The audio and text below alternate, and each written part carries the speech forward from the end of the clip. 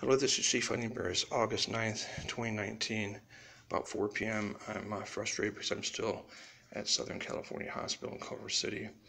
Um, after I spoke to uh, the uh, physician's assistant, Jason, yesterday, I thought I was, would already be released.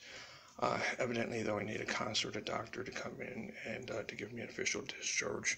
Uh, the um, wound care specialist was supposed to see me yesterday, but evidently there are people with much more serious uh, wounds than I have at the hospital right now. Uh, I'm hoping she'll come by today. Nurses did clean the wounds in my left and right legs. Uh, the uh, there's a significant amount of tissue regrowth in my left leg. Uh, my right leg wasn't that bad to begin with. Uh, they didn't find any microorganisms in my blood. I definitely don't have sepsis. They didn't even find any on my left leg with a culture, so they retook it again today. I think a lot of what's going on is just a synovial fluid. It's from inflammation, what's colloquially known as uh, water on the knee. But it's very serious, like to be missing tissue. It's got to regrow. And uh, also, you know, you, you are prone to uh, very serious infections that, uh, if you have the uh, open wounds like that. But I'm recovering nicely, and I plan on making regular visits to a nurse on an outpatient basis to help me to clean and bandage my wounds.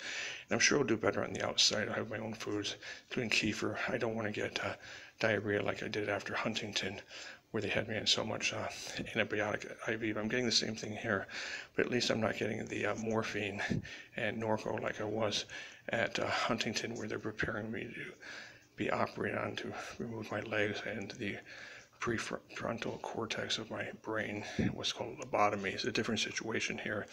So I'm looking forward to being discharged uh, today, tomorrow. Uh, I won't have air conditioning at night, uh, but I'll be able to go places during the day. It's in the 90s outside. I have the air conditioning up as high as possible. It's probably at 80 right now. It just I put it in the coolest setting, but it doesn't have a number. Uh, and I had the maintenance come by to open the vents. But you know, in Southern California, in the 90s, people wear coats and hats, so they don't they don't really think it's that uh, that hot in the hospital.